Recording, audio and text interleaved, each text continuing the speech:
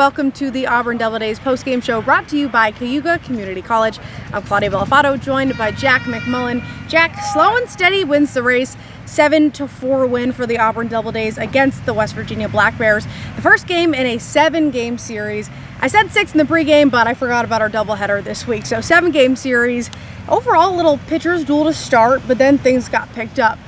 Yeah, and Rafael Gomez was tonight's starter for Auburn, and he threw really well. He got into the fifth pretty much unscathed. There was a solo home run by Brett Kinneman, who's the center fielder for West Virginia tonight, and that was his shot. But other than that, the bats were really quiet against Rafael Gomez. He did run into some trouble in that three-run top of the fifth inning, but after that, Auburn started to really pick up the pace. And, you know, it was all highlighted by the bottom of the eighth inning when they tied on an Albert Carrillo solo home run and then some. Jose Sanchez finished it, Onix Vega added to it, and then Fausto Segura was on for the ninth, and he was great. So overall, it was a great performance uh, when they needed it from Auburn.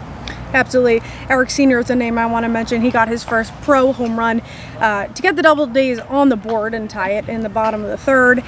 Another name that we talked a lot about uh, in pregame was Jake Alu. Sky had a pretty good game as we expected. He was your choice uh, MVP for the game.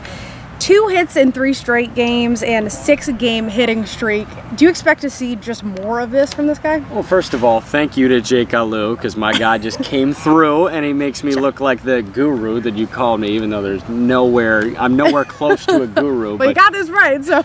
well, Jake Alu is just swinging a bat that's really impossible to ignore, and this guy's on fire right now. You mentioned the six game hit streak and the three game multi hit streak.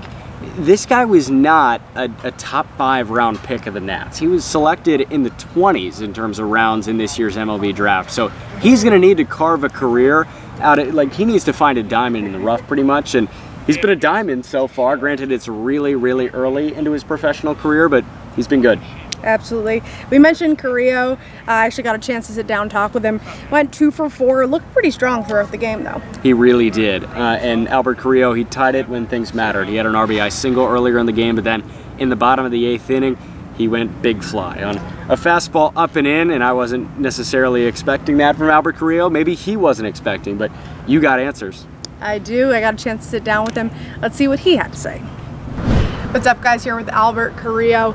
First of all, congrats on the win. You were gone for three games. You didn't right. see any of the field for three games. Then you come out with a multi-hit off the bat.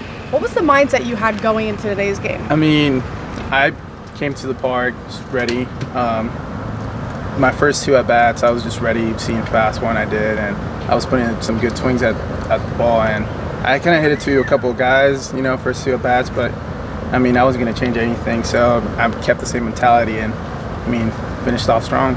And for both teams, it was a bit of a slow start. You went two for four, had an RBI single in the sixth. How did it feel to finally get things rolling? I mean, it was great. I mean, I was just trying to do my part to help the team, you know, just tie the game and hopefully just win. And you had a solo homer in the bottom of the eighth to tie it up. Was that the pitch you were looking for? I mean, I, I was sitting fastball the whole time.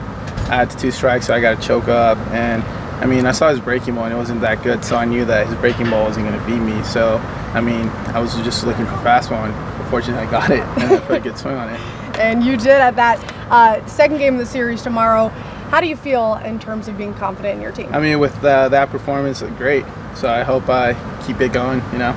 Absolutely. Best of luck, Albert Carrillo, Thank guys. You. Thanks. Thank you. Great game for Carrillo. Excited to see uh, what happens tomorrow in the second game of the seven game series against West Virginia Black Bears. You know where to find us. We're going to be right back here tomorrow on fingerlakes1.com. I'm Claudia Bellafato. He's Jack McMullen. Thanks for watching, guys.